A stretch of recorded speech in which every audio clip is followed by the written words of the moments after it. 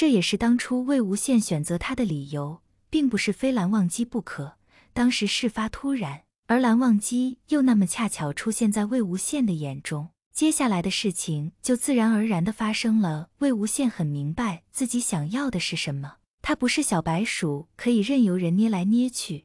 遇上蓝忘机后变得柔软，当知道自己怀孕的时候，有想告诉他的冲动，但是当时觉得还不是时候。让魏无羡最后狠下心来的一件事，是因为看到蓝忘机花边新闻，魏无羡在那一刻也失望了。现在嘛，似乎变得不一样了。至于什么不一样，只有魏无羡一个人清楚了。星期天的早上，魏无羡睡得迷迷糊糊，好像听到电话声。我问一下他，声音压得很低，生怕吵醒睡熟的人。我知道，我会安排的，您就不要催了，总要听听他的意思。他不同意，你就不回家了是吗？蓝忘机，你真的出息了！那头的蓝爸爸气得不停，儿子好几天没回家了，不能说不回家，要说被魏无羡限制的不能回家了，你怎么就那么听他的话？你眼里还有没有你爸妈？只是让他来家里吃个饭，有这么难吗？不是的，爸，我没说不回去呀，只是想先等一等。您忘了上次您绑架魏婴的事情了吗？心里都有阴影了，虽然魏无羡没说出来，但是心里肯定过不去。别跟我说什么阴影不阴影，我不听。他在你身边吧，马上带他回家，吃个饭而已，至于吗？怕我也吃不了他呀。再说了，总不能一直躲着不见人吧？想进我兰家的大门，这点胆量都没有，这以后怎么掌管我们家那么多的家业？不是有句老话说吗？丑媳妇早晚都要见公婆，嗨嗨嗨，爸，您这是同意了呀？蓝忘机真的太高兴了，不然呢？这个傻儿子，孙子都那么大了，总不能让人父子分离吧？一直偷听的魏无羡闭着眼，嘴角也开始上扬。醒了吧？我都听到你偷偷的笑出声了。说说吧，去还是不去？我还是那句话，你来做决定。我们俩之间，你才是主宰。去你家，也许是刚睡醒，声音都显得慵懒许多。怕了，摁蓝忘机凑过去亲吻魏无羡的额头，动作温柔又缠绵。又不是没去过，有什么可怕的？早晚都要去的，不是吗？虽然第一次去的时候有些不高兴，但那都是以前的事情了。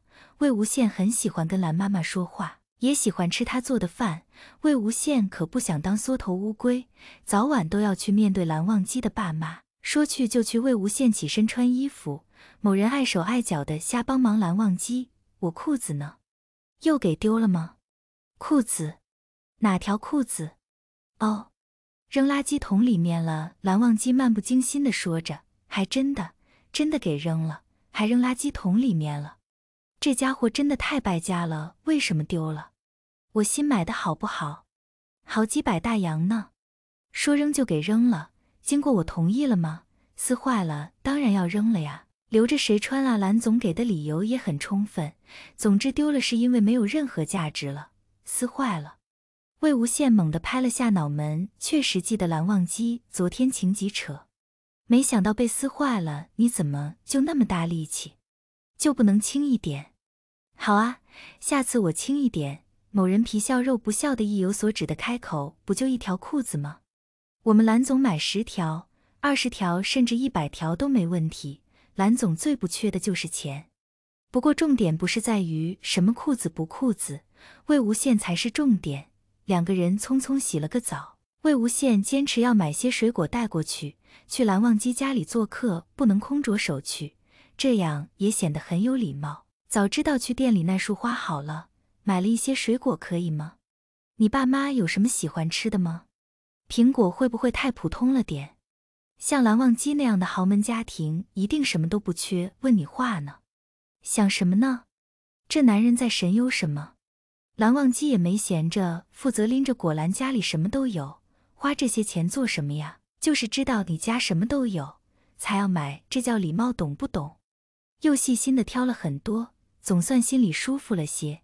这次是蓝忘机牵着自己的手走进蓝家的大门，虽然早就做好了心理建设，但是魏无羡还是紧张的手心都出汗。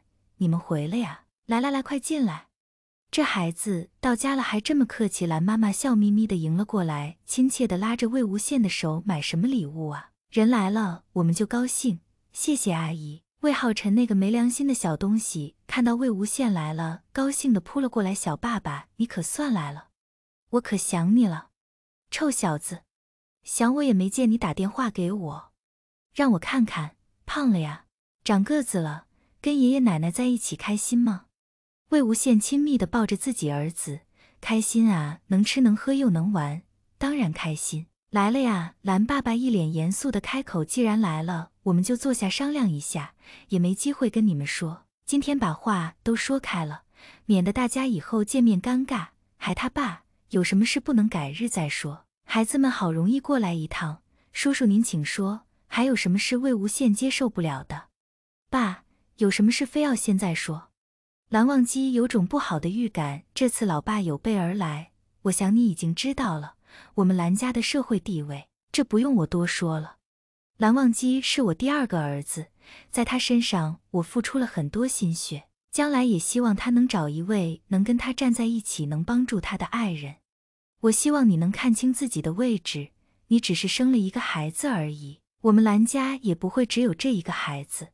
母凭子贵的想法，在古代也只能想想，现在不一样了。蓝忘机将来要娶，也会娶那出国留学回来的女孩子，有学识的人，两个人才有共同语言、共同的爱好。好一个母凭子贵！